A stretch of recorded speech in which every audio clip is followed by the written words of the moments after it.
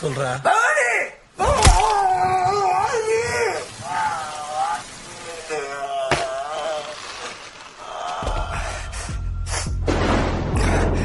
நீ யாரு?